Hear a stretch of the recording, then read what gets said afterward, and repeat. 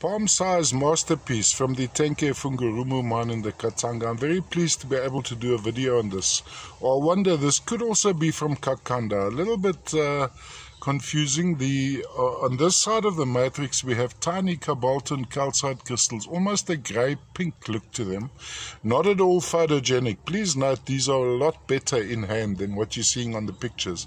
Then you have a little bit of tiny quartz crystals. This could very well be Kakanda. A little bit of chrysocolla there as well.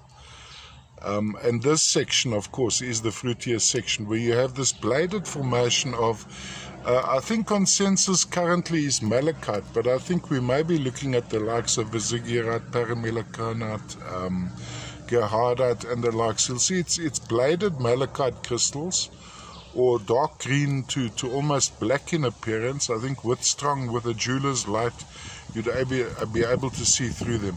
I'm just going to go a little bit closer into this. Let's see if we can zoom in there. Ah, there we have it.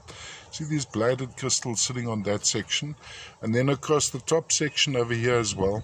Right across we have the quartz crystals, maybe a minor dusting of heterogenite, a little bit of chrysocolla there as well.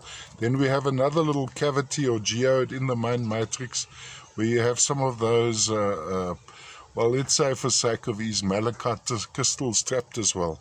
Size-wise, a palm size, so a pretty good size, not all that heavy.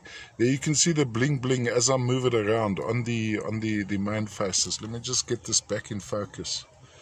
I have some days I have my moments with photography. Some days are diamonds, as they say, and some are just uh, stone. Uh, all the way from the uh, Katanga Copper Crescent in the copper, copper mines of the Congo.